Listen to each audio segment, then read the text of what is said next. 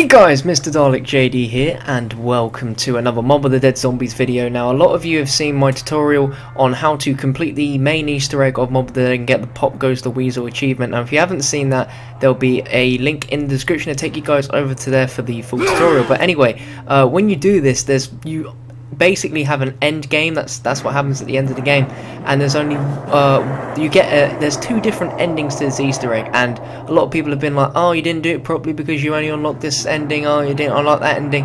Well, in this video, I'm going to be showing you both endings. There's a good ending and a bad ending.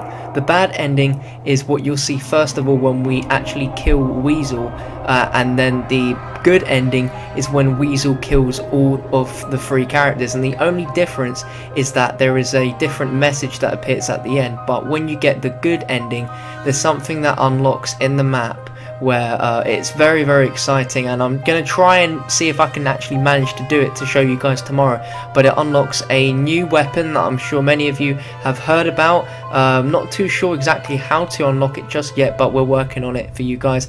And uh, yeah I'll leave you guys to watch the gameplay of uh, both endings. If you enjoyed and you're logged into a YouTube account be sure to smack the like button. It will resolve a lot of problems of people going oh no you didn't do it right because the ending's this and the ending's that. This is both endings for you guys so you can see it. So anyway uh, I'll see you soon.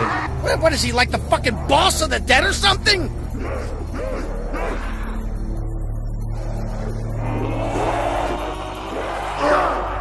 Get low on rounds! Oh! Oh!